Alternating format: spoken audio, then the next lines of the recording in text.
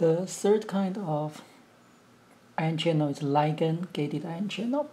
And this ion channel when uh, a ligand bind with it. Ligand could be any chemical molecules, could be a neurotransmitter, a neuromodulator, or uh, even a hormone, but most of the time it's a neurotransmitter. So when you bind with the channel, the channel become open. So we will see this a lot in the nervous system.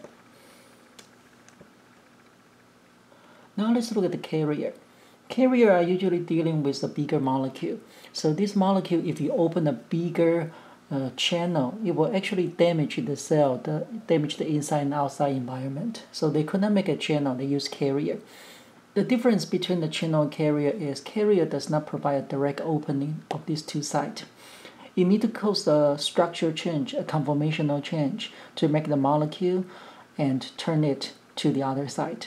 Because of the structure change, it's much slower compared with ion channel. Also, this uh, carrier, it, he has binding site. He has binding site for the molecule, so he can be saturated. Compared with ion channel, usually ion channel we, we don't worry about saturation. Uh, so every time you have a binding site, it's like you have a limited seat in the in the bus. So you have limited uh, number of molecule can be carried but it's still a facilitated diffusion. It's not a pump, pump like ATP is. Uh, we'll talk about the, uh, in the next few slides. So it's, it's still a passive transport. So carrier are similar to enzymes. You learn the enzymes function in the intro bio. Uh, they have binding site, they have specific substrate uh, able to bind with the enzyme, and enzyme can be affected by temperature, pH, because they're protein, they can be denatured. And they also can have the competition and saturation because they have a binding site. So if the binding site been blocked by the other molecule, and they, they won't be able to perform its function, so it is competition. And also when you have too many substrate, they have to wait so they can be saturated. They also have the allosteric site, that's the different site. Uh, when the chemical molecule bind with the allosteric site, they can upregulate, which is increase the, the enzyme's function, or downregulate it, which is to decrease the enzyme's function. So in that part, carrier are very similar to enzyme. The carrier all have this characteristic. Now let's move to the active transport. So this part, that's the active transport. And the definition of active transport is the, the cell so we're in the cell's point of view, need to use the ATP to make this transportation happen. And some of them we learn them in the intro bio already, like this part, like endocytosis, exocytosis, phagocytosis. This the cells make the cell membranes moving in, moving out, so they can swallow the molecule in or release the molecule out. And that's this part. Now let's focus on this part. This part is you the cell use the ATP as an energy source. They're gonna move the molecule against the concentration gradient. So you're moving the molecule from low to high concentration area. And this won't naturally happen because it won't naturally happen. You need to give them biological energy, and this is the ATP. So it can be divided into the primary and the secondary active transport. And let's look at the primary active transport. This is called a pump, also called ATPase, because this membrane protein require ATP as an energy source. And pretty pretty famous example, sodium potassium pump, also called sodium potassium ATPase. You find we will see this membrane protein for the whole semester. Every living cells have this. Its function is to use ATP as an energy source and work like a pump. So if you think about a pump, you're gonna use gasoline, use electricity as the energy source. It can pump the molecule from low to high. And that's exactly how the sodium potassium pump work. When it works, you use ATP as the energy source. It pumps sodium from low to high. It also pumps potassium from low to high. So sodium environment, this is the cell. The sodium environment is low inside, high outside. So when this pump work, you're gonna keep pumping sodium out. Potassium, potassium is different. Potassium is high inside the cell and low outside the cell. So this pump keep working, you keep pumping potassium in. And it maintain the environment. So the ECF is high sodium environment and the ICF is high environment. So this is like the AC system. You keep running 24 hours a day, 7 days a week to maintain the ECF and ICF sodium potassium environment in the correct concentration. And this is a primary active transport. And every time it works, it pumps 3 sodium out and 2 potassium in. So it only pumps 3 positive charge out and you pump two positive charge molecule in.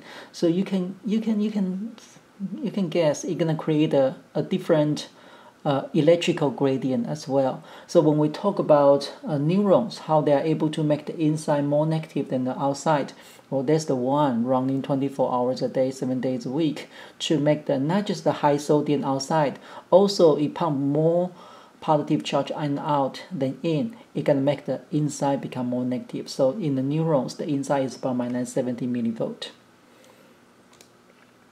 And this video show you how the sodium potassium pump work. I'll leave this to you.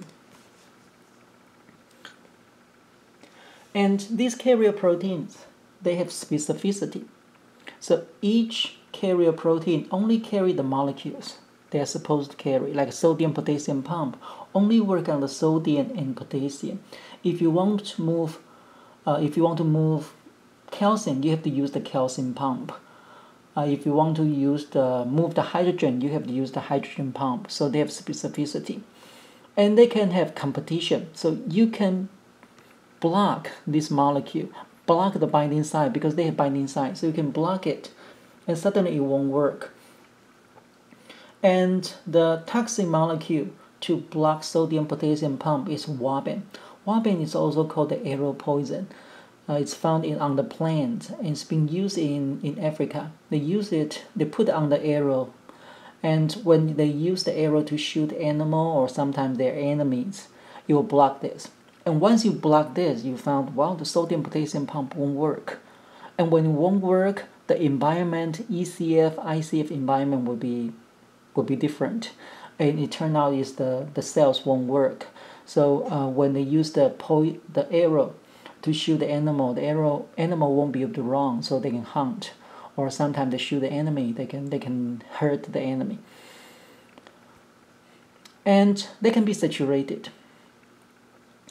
Uh, I use the UT shuttle as an example. So when you have too many students, well, if each shuttle they can only take 40, and when you have 40 students, you can take and when you have 41s well you only, only take 40 so one have to wait. And this is the situation this is the situation. And when we look at the saturation curve it look like this. So every time I show you a picture the first you look at what's in the x and what's in the y-axis so you found the x-axis is concentration of glucose plasma in the blood. So you know that's the blood sugar level and the y-axis, that's the transportation rate. This is how many glucose can be transported, transported per time. And that's the transportation graph. So before it reach the saturation curve, that's the blood sugar level. So it starts from zero. That's when you are very hungry. Your blood sugar level is pretty low. So you found, okay, it can handle the transportation. And when you start to increase the blood sugar level, and it can still handle it. It's like, okay, you increase the student number from 5 to 10 to 20, and the UT shuttle can still handle it until you reach the situation. So say this shuttle can only carry 40 students. You have 40, you reach the situation. You reach the situation. When you have 41, they can only transport 40, so one have to wait. When you have 42, well, you, they, they still transport 40. When you have 200, they can still transport 40. So it reached the transport maximum. When this happens, it can only transport that many sugars. And turn out the other blood sugar will stay in the blood, it can damage the kidney. So that's what happened in the diabetes patient. They have to watch the carbohydrate they eat because they, when they eat too much carbohydrate, their body is not so good at transporting glucose because their body is insensitive to insulin. So they won't be able to put enough GLUT4 on the cell membrane and quickly their uh, cell transportation reach transport maximum and all the blood sugar they can stay in the blood they're going to damage the filter and which is the kidney so it can can cause the kidney failure and they have to do the dialysis because kidney is the filter in the body we'll talk more about it in uh, in the renal system the last system now let's look at the secondary active transport so we finish the primary let's look at secondary definition of secondary is it's still active transport, so the cell still need to use ATP as the energy to move the molecule from low to high. So the cell still need to use ATP. But the cell always try to save some ATP. It's like, okay, if the cell have 20 membrane proteins, each one takes 3 ATP, then quickly gonna run out of ATP. So it always try to look for, oh, can I save a few ATP here or there? And this time they use the concentration gradient of the X molecule. First, they transport the X molecule from low to high. And the X usually is sodium, but it could be something else. Usually it's sodium because the sodium potassium pump, like this one is the AC, keep running 24 hours a day, 7 days a week. So the sodium is high outside, low inside already. This time, they use the concentration gradient of sodium. So sodium love to move from outside, this is high, to the inside, this is low. And they, they create the membrane protein. The membrane protein has a binding site for sodium, also for glucose. They want to move glucose from low to high. So instead of creating a glucose pump, use ATP to pump glucose from low to high, it take advantage of the concentration gradient. Use the concentration gradient because concentration gradient is the energy source they use the concentration gradient of sodium in order to move glucose from low to high. So this does not directly use ATP because this membrane protein does not use, use ATP, but we always look at it in a cell's point of view. So the cell still use ATP to make this happen because it needs to make the so sodium high outside, low inside. So this is called the secondary. Sometimes it's also called indirect active transport. It moves the sodium use the concentration gradient of X, that's the first molecule, in order to move Y molecule against its concentration gradient. That's the secondary active transport. An example, sodium glucose symporter. They can move in the same direction, we call it symporter. They can move in the opposite direction, we call it antiporter. So sometimes we have symporter, we have antiporter, and they all belong to the secondary active transport category in your uh, small intestines, you have a lot of these examples because that's the busy place. So inside the GI tract, we got the lumen. Uh, this molecule, they need to move from the GI tract. So inside the GI tract actually is still outside of your body because if nothing happens, it can go through the whole tube, go to the anus, you can pass them out. They're still outside of the body. You want to take the nutrients from the lumen that's inside the GI tract through the apical membrane. Now it goes through the uh, basolateral membrane to here. And it goes through two membranes. To here, there's the ECF. Now this in your blood. This is in your body. This process is called absorption.